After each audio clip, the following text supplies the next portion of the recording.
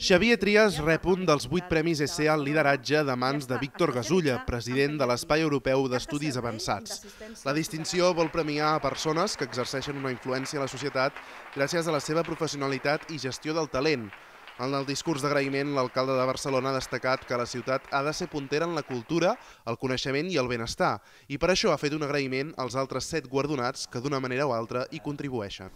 Aquesta gent és els que fan això, i això jo crec que és molt important.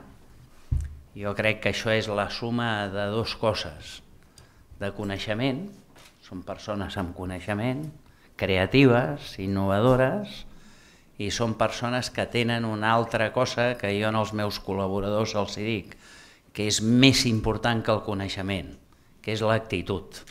Entre els premiats en la tercera edició d'aquests guardons hi havia personalitats tan diverses com l'empresari de comunicació Justo Molinero, l'economista Leopoldo Abadia o el pare Manel. Aquests guardons es van crear al març del 2012 de mans de l'Espai Europeu d'Estudis Avançats.